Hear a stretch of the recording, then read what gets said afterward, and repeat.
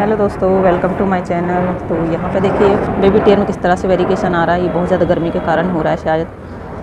तो मैंने कुछ शॉपिंग करी है, आज वही वीडियो लेकर आई हूँ। तो कुछ दिन पहले करी थी मैं, जो है ना, आपके साथ शेयर नहीं कर पाई थी।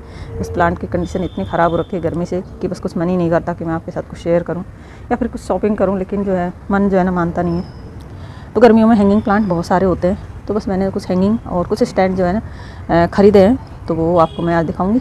वीडियो में आगे बने रहिए। तो ये जो शॉपिंग मैंने फ़्लिपकार्ट से करी थी, कुछ दिन पहले ही मतलब काफ़ी टाइम हो गया, महीना भर तो हो ही गया है, लेकिन जो मैं उनको पैकिंग भी उनकी मैंने खोल ली है।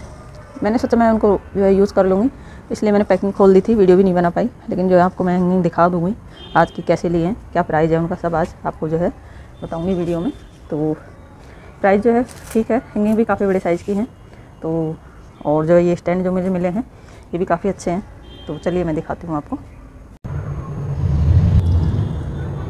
तो ये देखिए, ये वो स्टैंड है और ये पॉट हैं हैंगिंग पॉट और ये स्टैंड देखिए, ये मैंने लोकल मार्केट से ही ख़रीदे हैं। ये ऐसे तीन स्टैंड थे। एक मैंने, वैसे तो ये मटका स्टैंड है, लेकिन हम पॉट वगैरह रखने के लिए भी यूज़ ले सकते हैं। तो मैंने पॉट के लिए ही इसको ख़रीदा है।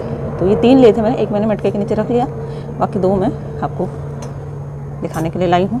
तो काफ़ी अच्छी क्वालिटी इनकी। और देखिए, इसके पैर वगैरह कितने अच्छे से हैं, बिल्कुल भी जो फिसलने वाले नहीं हैं, क्योंकि ये इस तरह से कर्व लिए हैं, साइड से मुड़े हुए हैं। तो ये फिसलन का काम नहीं करते। अगर ये ही बिल्कुल स्ट्रेट होते ना तो उनमें फिसलन का डर रहता है। तो इनसे क्या है, फिसलने का डर नहीं है बिल्कुल भी। तो ये दो पोर्ट मैंने लिए हैं और ये मुझे हंड्रेड रुपीज़ का एक स्टैंड मिला है। तो काफ़ी कॉस्टली लगा था मुझे, पर वही है ना, किसी चीज़ को देख लो और फिर जब हमें मिलता नहीं है ना तो फिर ऐसे मन, होता है कि बस ले लो फिर उस चीज़ को छोड़ना नहीं चाहते। तो तीन ये मैं लेकर आई थी। तो यहाँ पे देखिए ये हैंगिंग है मल्टी कलर में। तो ये मैंने लिए हैं फ्लिपकार्ट से। तो काफ़ी अच्छी इनकी, गहराई भी है और चौड़ाई भी है। और हैंगिंग के हिसाब से तो मुझे ये बहुत बड़ी लग रही है। कहने का मतलब जब इनको हैंग करेंगे या तो इनकी मिट्टी बिल्कुल लाइट वेट बनाएँ, तब जाके ठीक रहती है नहीं तो। बहुत ज़्यादा गहराई है, इनकी चौड़ाई भी काफ़ी है। तो हैंग करने के हिसाब से तो बहुत बड़ा साइज़ है कहने का मतलब। तो ये मैंने इस तरह से नौ पीस हैं ये। एक, दो, तीन, चार, पाँच, छः, सात, आठ और एक, ये नौ। तो नौ पीस हैं ये और साथ में देखिए एक छोटू सा पॉट फ्री मिला है ये और ये इसकी चेन है। तो इस तरह से पैकेट में आई हैं ये। तो मैंने अभी तक ये यूज़ भी नहीं लिए पॉट क्योंकि बहुत ज़्यादा गर्मी हो गई, कोई प्लांट लग भी नहीं पा रहा था। तब इनको या तो बारिश में यूज़ करूँगी या फिर विंटर में यूज़ करूँगी इनका।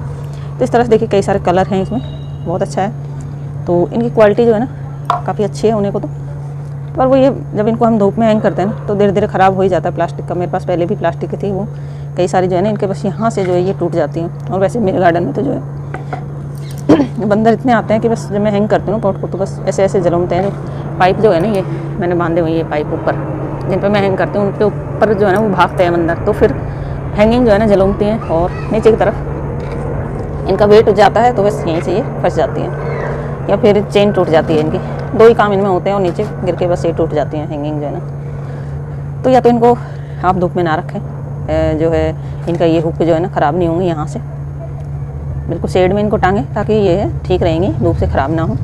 तो प्लास्टिक पॉट जो है ना धूप में ज़्यादा नहीं चल पाते हैं। तो इनको जो है छाया ही देने की कोशिश करें। छाया में ही इनको हैंग करें। कोई ऐसे प्लांट लगाएँ जो बस शेड में चलते हों, धूप वाले इनमें ना लगाएँ।